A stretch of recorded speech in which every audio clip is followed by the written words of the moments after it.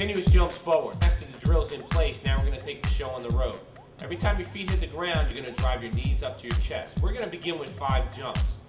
As you get better at this, you can increase the intensity of the jumps by increasing the reps. So you can add one rep, add another rep, but you don't want to do any more than 10 jumps. Quality is more important here. Every time your feet hit the ground, you want to picture the ground is hot. So you want to drive the knees up to your chest. So every time you want to think quick and explosive. So the ground's hot. So time your feet hit, drop them up. Drop them up, and you're looking to get height on every single jump.